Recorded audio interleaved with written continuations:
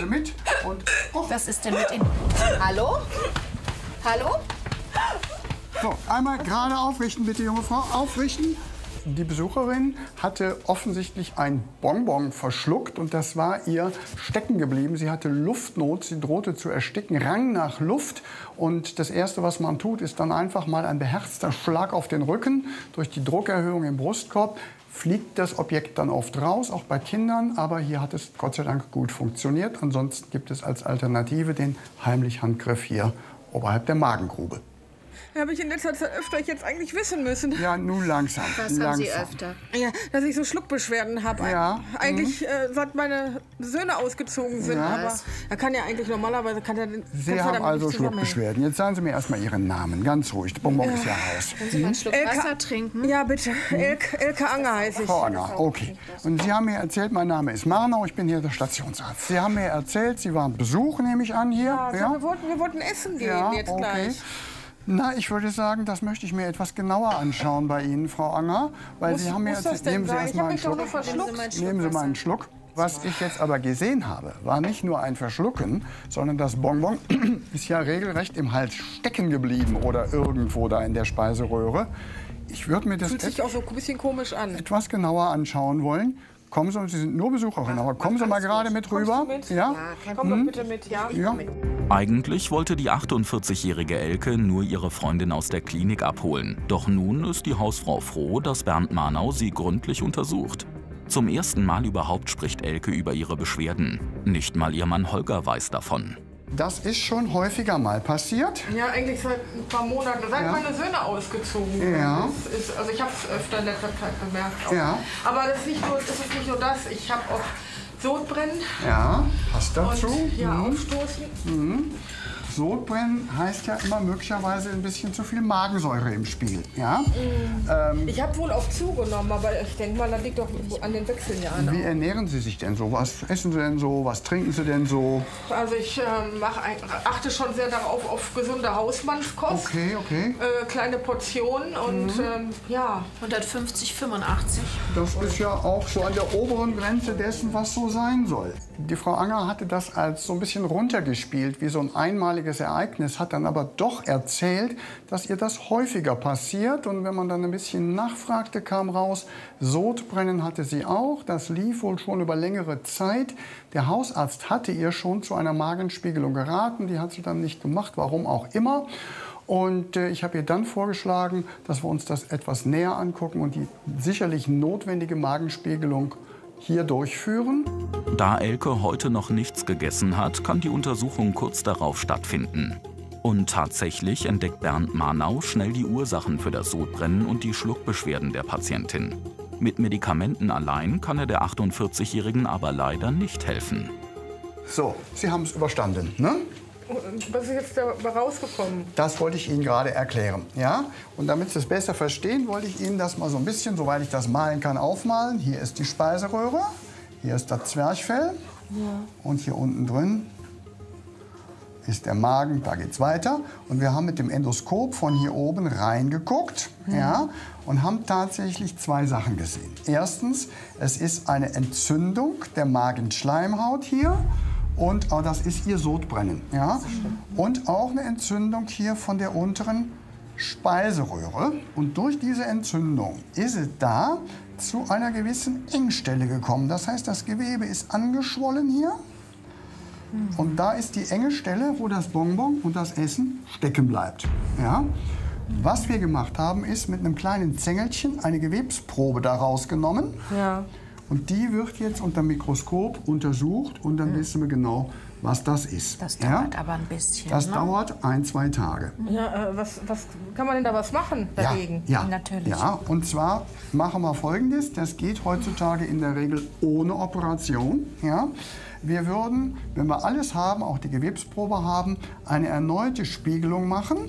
Dann gehen wir da mit einem Ballon rein, dehnen, dem Ballon dehnen das auf und das machen wir aber in der richtigen Narkose. Soll ich dem Holger denn Der hat's doch gerade hinter sich. Also, ja, weil äh, ich bin total durcheinander. Und der Holger, den lassen wir ganz raus. Der hat erstmal hat der gar keine Zeit und der muss sich da mich auch noch mit belasten. Also lassen Soll ich, soll ich bei dir bleiben? Damit Ja, bleib du bei mir, das ist alles, gut. Ja, das ist sowieso Das nie sind da. doch schon ein super alles Team Der Mann ist nie da. Ja, der hat doch auch schon lange keine Zeit mehr irgendwie. Weiß ich nicht. Irgendwie die Söhne weg, der Mann weg. Ja. Jetzt machen wir aber erstmal den Schwerpunkt auf Ihre medizinische Behandlung. Ja. Ähm, die Freundin bot dann auch an, ihrem Ehemann Bescheid zu sagen. Ähm, doch da wehrte sie total ab. Der hat ja eh keine Zeit, der ist bestimmt wieder unterwegs. Und das war dann doch ziemlich befremdlich, dass offensichtlich der Ehemann ähm, an ihrem Leben gar keinen Anteil nimmt. Seitdem die gemeinsamen Söhne aus dem Haus sind, verbringt Elkes Mann Holger seine gesamte Freizeit im Modellbauclub.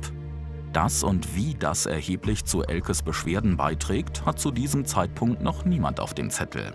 Am folgenden Tag erhält die Patientin eine Ernährungsberatung bei Dr. Risa Sina. Ja, mein Kollege hat sie mir angekündigt, dass sie bestimmte Probleme haben mit der Verdauung und äh, ich soll mich mit ihnen über die Ernährung unterhalten. Ich dachte eigentlich, dass ich in dieser Hinsicht immer alles richtig mache. Gute Hausmannskost, ja. Mein Mann, der ist ähm, Straßenbauarbeiter, ja, der braucht ja auch viel mit Fleisch oder auch mal was Verstehe. Fettiges, Auflauf, Gratin und Ja, so weiter. aber was, Sie- welche Ernährungsgewohnheiten haben Sie denn überhaupt? also ich, äh, das was essen Sie tagsüber? Also morgens eigentlich nicht so viel. Schon mal ein belegtes Brötchen mit Käse, Butter. Mhm. Dann mittags nur eine Kleinigkeit. Und nachmittags wohl dann schon mal gerne ein Teilchen. Einen Kaffee dabei, mit, auch schon mal mit Sahne. Ne? Oder so Plunder. Ja, so zwischendurch mal. einfach, ne? so ein bisschen Nervennahrung. Und abends, okay. ja, und abends koche ich dann natürlich schon ausgiebiger. Ne? Dann, ähm, Zum Beispiel? Dann gibt es zum Beispiel Auflauf, Gratin, Rollbraten. Also viele Menschen haben wirklich keine große Ahnung überhaupt über die gesunde Ernährung. Jeder isst natürlich das, was auf den Tisch kommt, beziehungsweise was er in irgendeinem Restaurant bekommt. Ähm, Wir können aber den Gesundheitszustand wesentlich verbessern durch eine gesunde, vollwertige Ernährung. Wir müssen versuchen, viel Wasser zu trinken tagsüber, dann viel mehr Gemüse und Salate. So, als nächstes kommt Kohlenhydrate, wie zum Beispiel Teigwaren, Reis, Kartoffel, Brot, natürlich Vollkornbrot ist gemeint, aber jeden Bissen müssen Sie bitte 30 bis 40 Mal kauen, dass die, die Verdauung eigentlich im Mund beginnt und etwas, was in den Magen kommt, muss etwas wie eine Suppe Brei sein. Dann hat der Magen weniger Arbeit damit, um zu verdauen. Ach so. Als nächstes kommen wir zu den Proteinen und Eiweiß. Das heißt, hier gehören Fisch, Fleisch, Eier, Käse. Als nächstes kommt die Fette hier, das heißt also Öle, die kaltgeschlagene Öle eigentlich das Beste sind, Olivenöl, Rapsöl, Sonnenblumenöl. Das ist egal welches aber, ne? Können Sie natürlich Ja. am meisten Olivenöl nehmen, aber Butter wenig ist gut, kein Problem. Jetzt kommen wir zu den heiß geliebten Süßigkeiten.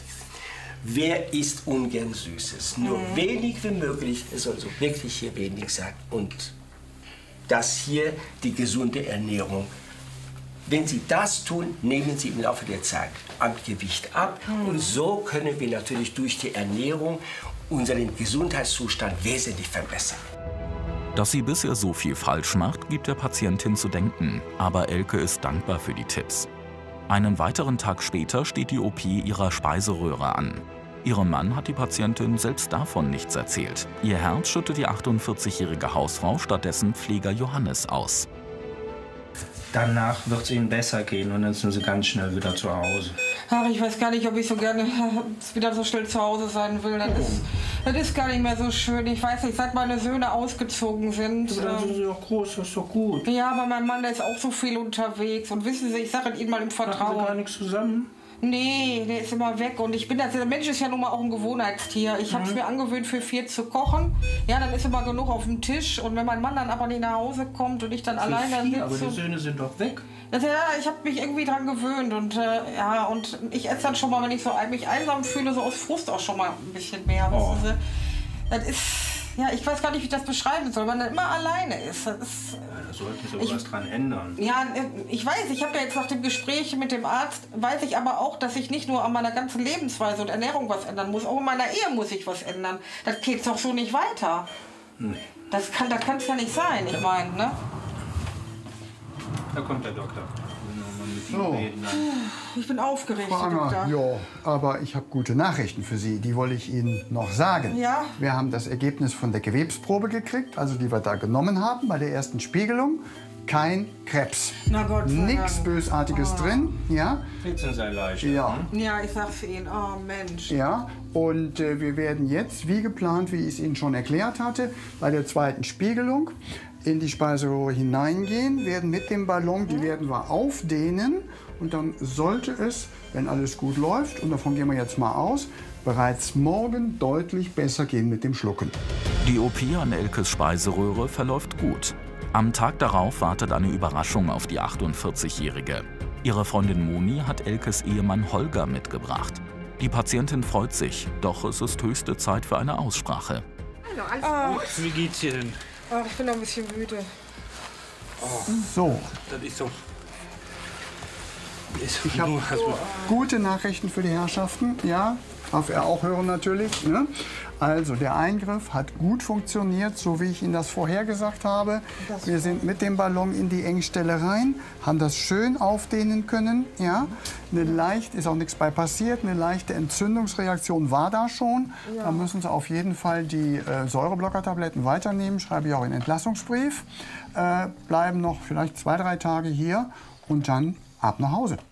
Sehr gut. ja, das ist ja schön. Aber ich sehe gerade, du hast mir Pralinen mitgebracht. Ja, Die deine sind- Lieblingspralinen. Die sind jetzt vom Speiseplan gestrichen. Dann- Wir müssen jetzt mal ganz gewaltig was ändern. Das kann ja, du siehst ja, was jetzt dabei rauskommt mit diesem fettigen Essen. Der Ehemann hatte, wie Angehörige das gerne tun, sozusagen einfach wollte er der Frau was Gutes tun, die Lieblingspralinen mitgebracht. Äh, Das war natürlich nach der Ernährungsberatung der Frau Anger schon klar, dass das nicht mehr angemessen war. Die haben wir dann auch einkassiert und einer vernünftigen Verwertung zugeführt bei uns hier in der Klinik. Ähm, Und sie hat dann von der Ernährungsberatung beim Kollegen doch sehr profitiert, hatte wirklich, das sagte er mir auch noch mal, wirklich den äh, kapiert, worum es geht bei der Ernährung. Mehr frische Sachen, nicht so kalorienreich. Sie hatte ja auch ein Cholesterin- und Zucker- und Blutdruckproblem. Das alles wird sich durch die langsame, kontinuierliche Gewichtsreduktion neben den Magenbeschwerden auch in Wohlgefallen auflösen. Weißt du eigentlich, dass ich oft aus Frust esse? Weil seit unsere Jungs nicht mehr da sind, bist du nur noch unterwegs. Ganz ehrlich, also das, das ist doch Mist. Ich fühle mich wie ein Single. Ich habe das Gefühl, ich habe überhaupt gar keinen Schatz, Ehemann mir mehr. fehlen die Jungs auch. Und deswegen gehe ich doch in den, in den äh, Club.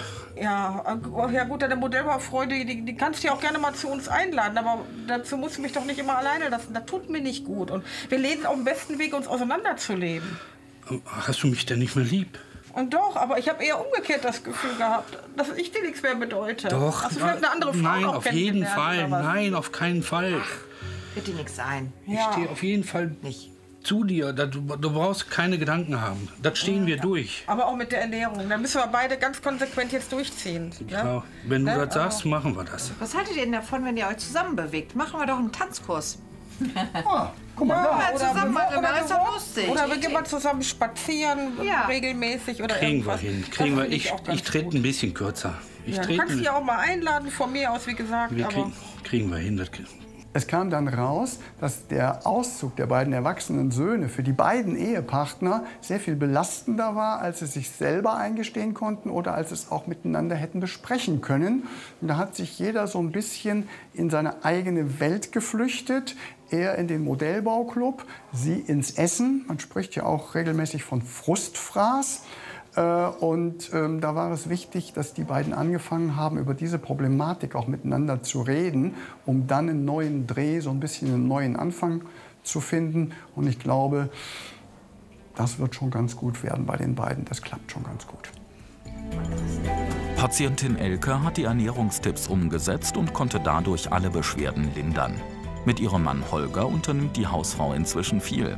Vor allem der Tanzkurs bereitet beiden großen Spaß. Den Auszug seiner Söhne hat das Ehepaar in einer Psychotherapie bearbeitet.